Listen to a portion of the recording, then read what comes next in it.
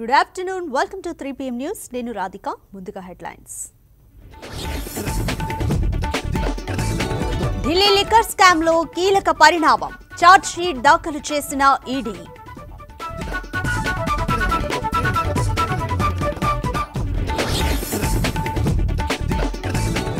ఎమ్మెల్యేల కొనుగోలు కేసులో స్పీడప్. రెండో రోజు అడ్వకేట్ ప్రతాప్ గౌడ్ సిట్ విచారణ.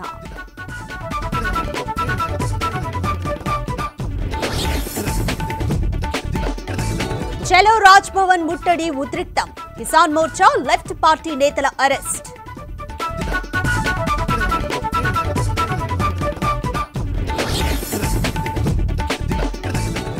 మరో ఘనత సాధించిన ఇస్రో. విజయవంతంగా PSLV C fifty four rocket ప్రయోగం.